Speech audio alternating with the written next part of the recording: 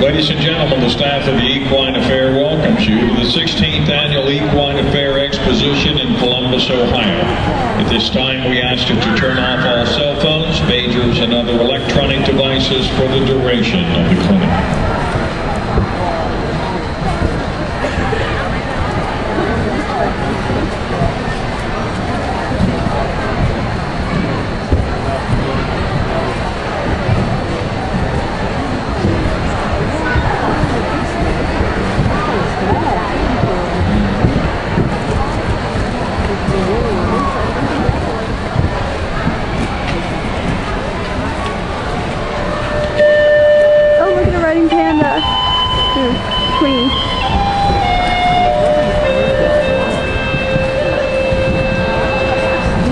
Ladies and gentlemen, the four gypsy associations participating in this year's Equine Affair pleased to present the Gypsy Breed.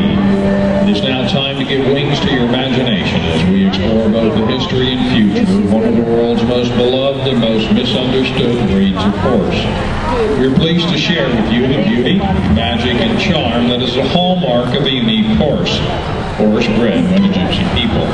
A relatively new breed, dreamed of and created by vibrant artwork, and mysticism.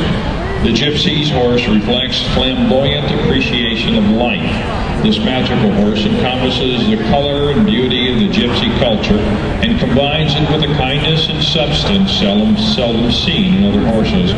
Never before has a breed so touched the human heart and inspired such emotion and imagination.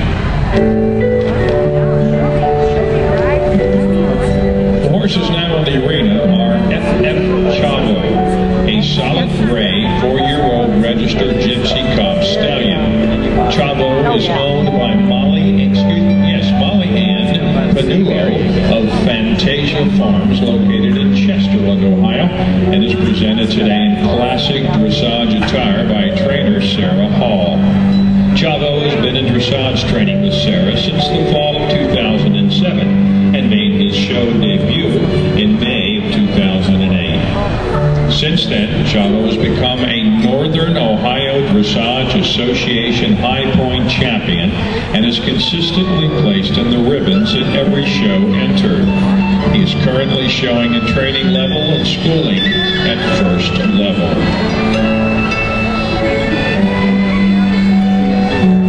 Sir Gawain, the black four-year-old gelding. The distinction of being the very first horse to enter the Gypsy Angel program. The American Gypsy Horse Angel Foundation is a division of the American Gypsy Horse Breed Association designed to selectively place gypsy horses into highly qualified therapeutic riding centers. Sir Gawain is nearing the end of his training and will be placed in his new position later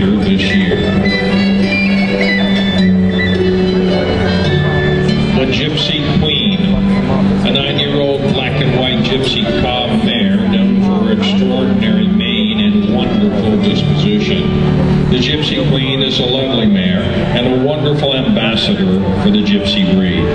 The Gypsy Queen is owned by the All-Star Farm of Columbus, Ohio, and is presented by owner Daniel L. Cunningham.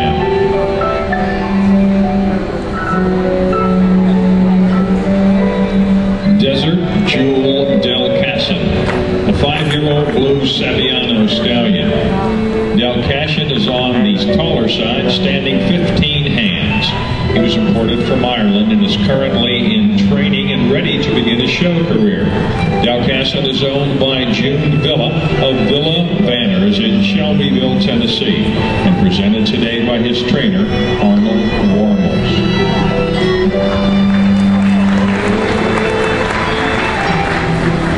and Old Blue Eyes, a black and white eight-year-old gelding named for his two crystal blue eyes. Old Blue Eyes is affectionately nicknamed the kindness and versatility of the gypsy breed. Able to excel in a variety of disciplines or to be the perfect family horse. Frankie is being ridden today by trainer Gina Haggard. Frankie is owned by the Lucky Star Stables of Bluffton, gypsies have had horses for as long as their culture has been in existence, but the horse we recognize today as the gypsy breed has only emerged within the past century. During the World Wars, the British Army conscripted many horses throughout both England and Ireland. Despite the conscription of thousands of horses, the Army would not take pinto-colored horses, so these are the horses the gypsies began using. In the mid-1900s, the gypsy breeders began the blood of the Clydesdale and the Shire into their pinto-colored horses to add both bone, bone and feather. They then introduced the bloodlines of the Dales and the Fell ponies for their economical use of forage and more manageable size. By the early 70s, a breed type was well established and some magnificent foundation stock had been produced. These horses were used in nearly every aspect of the gypsy's life, from pulling the colorful wagons that were the gypsies' homes to pulling the smaller drays used for work. A gypsy's horses were his means of travel, his means of employment,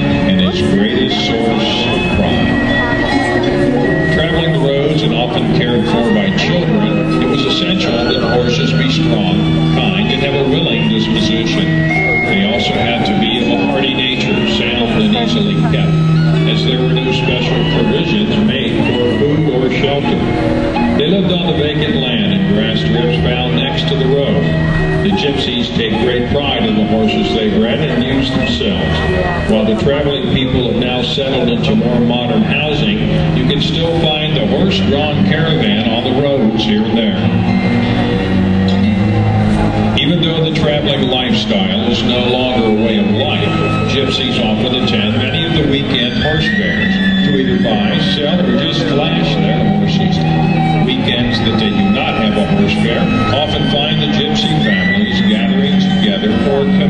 Drive.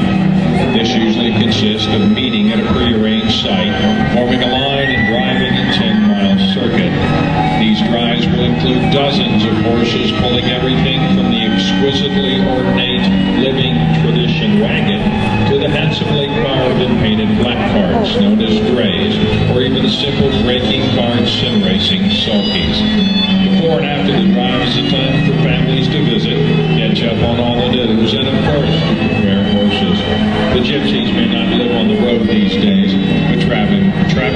Still very much a part of their heritage, and the weekend drives keep that heritage alive. With less need for the larger draft type of horse, gypsies now prefer